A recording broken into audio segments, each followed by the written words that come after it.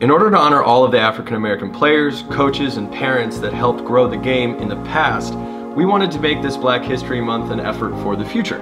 So we decided to donate a portion of all of our limited edition BHM shirts to grow the game here in Philadelphia. Always mysterious. All right, how you doing? My name is Tim Morrison. I am the director of Roadrunners Lacrosse based out of Southwest Philadelphia. Currently, we're serving about between 45 to 50 kids. We're looking to grow the game in all parts of Philadelphia. We're looking actually to start our younger grades group going from K to 4, starting our bobblehead league. So 25% of the proceeds of the t-shirts are going directly to support the kids right there in Southwest Philadelphia as we continue to grow the game of lacrosse. These shirts are only going to be available for this month and we appreciate your support.